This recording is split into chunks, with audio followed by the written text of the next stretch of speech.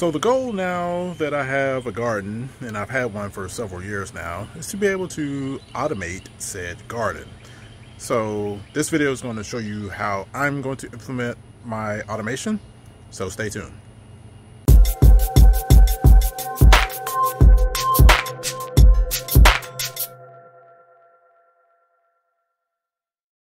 In an effort to automate the garden, what I have purchased is a soaker hose.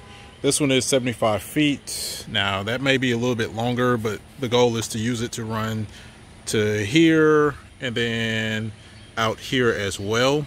Um, so there are some areas like the sidewalk that'll end up getting wet because it's a soaker hose it's going to soak through regardless of where it's at. And i'm not too worried about that. Uh, eventually this will this is like phase one right now. Um, but in the long term there will be additional changes made and this hose will get reused in that. And i also have a automatic water timer.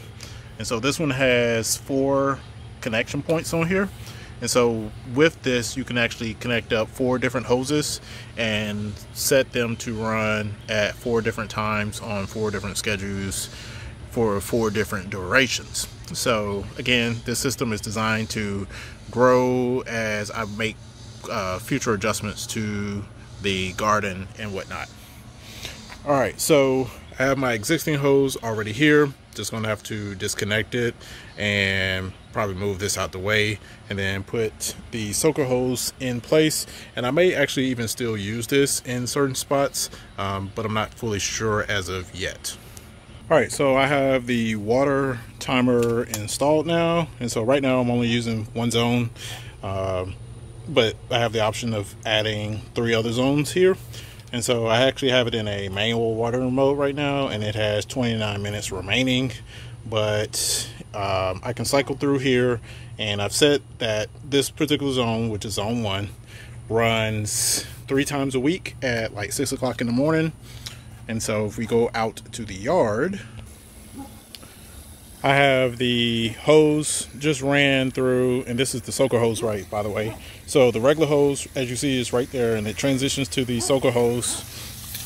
So just a standard connection here, and transitions over, and this soaker hose is just ran through uh, all the beds and the containers as well.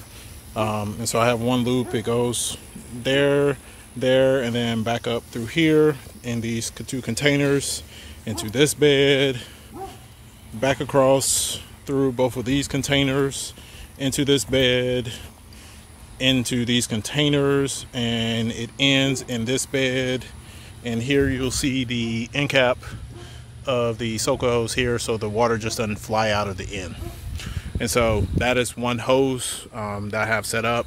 I'll probably go back and reposition some of these containers so that they are in between the beds, like in that space right there. Um, that way I don't have as many uh, empty spots like here where it goes from this side to this side um, that are not being really watered. Um, but the plan is to add more additional grow beds. And so this hose will ideally be used in a greater capacity in addition to adding more zones. All right, so I have the timer automatically set up. Um, as you see, it's set for 6 a.m. on Sunday. And so this one actually gives you the option to set the days of the week. So if we cycle through, I actually going to turn it so you don't have to twist your head. So if we cycle through, so right now it's set for every two days, but you can actually change the option to set it on certain days of the week. And so if you change it to the number of days, um, usually I do every other day in my garden instead of every day. Um, that way the plants are not so reliant upon water. Um, so I may actually change this to every three days. It just depends. But every other day seems to work best in my scenario. And then I have it set to 6 a.m. And it has a cycle option.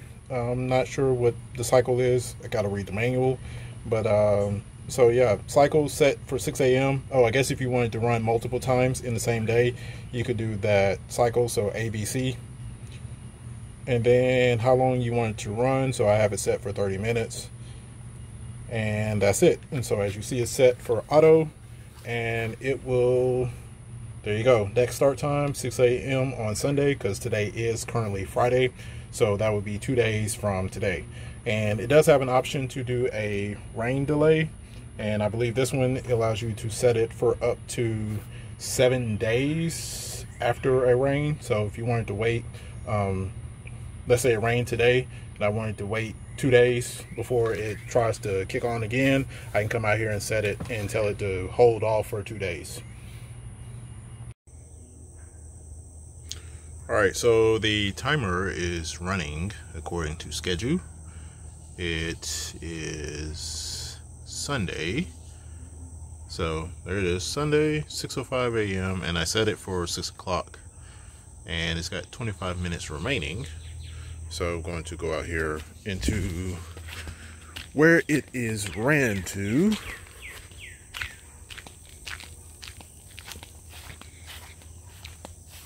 And so as you see, there's the soaker hose and the water coming off of it.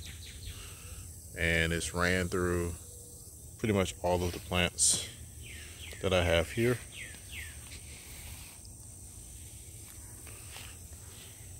And so in some areas this ran a little bit higher, which I probably need to adjust, like this one right here caught up on that leaf.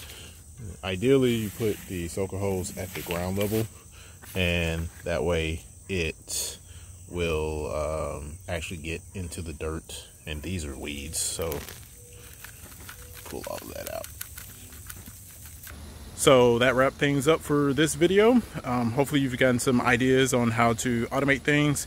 I know a lot of people are trying to build like Raspberry Pis and Arduinos in their automations, but you don't necessarily have to do that. I wanted to show a way that this can be done using off-the-shelf products and you know it's very easy might be a little bit more expensive and you know it takes less time but you're paying more to do that in less time in addition you have um, you don't have to worry about the automated items, you know, that you build, having to diagnose them and stuff like that nature. Worst case scenario, you take it back to the store or you request a warranty repair or something like that nature from the manufacturer if something does start acting up. Thank you for watching this video. If you have not already, please be sure to subscribe down below.